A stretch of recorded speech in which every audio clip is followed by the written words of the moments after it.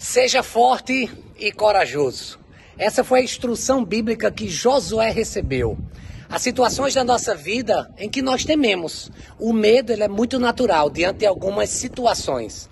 A minha pergunta é: o que fazer diante dos desafios? Diante das lutas, dos gigantes, dos mares, das muralhas que se apresentam contra você? Hoje, em mais um treino de jiu-jitsu, uma coisa é certa. Eu aprendi aqui no nosso tatame na igreja é que nós precisamos ser fortes, independente de quem seja o nosso oponente. Ainda que ele seja mais forte do que nós, use a força dele a seu favor, porque assim nós iremos poder avançar e conquistar o que nós sempre desejamos, que é a vitória. Assim como nas artes marciais nós podemos vencer, por que não fazer isso na vida, nas mais diversas áreas da nossa vida? E essa vitória, lembre-se, é para a glória de Jesus.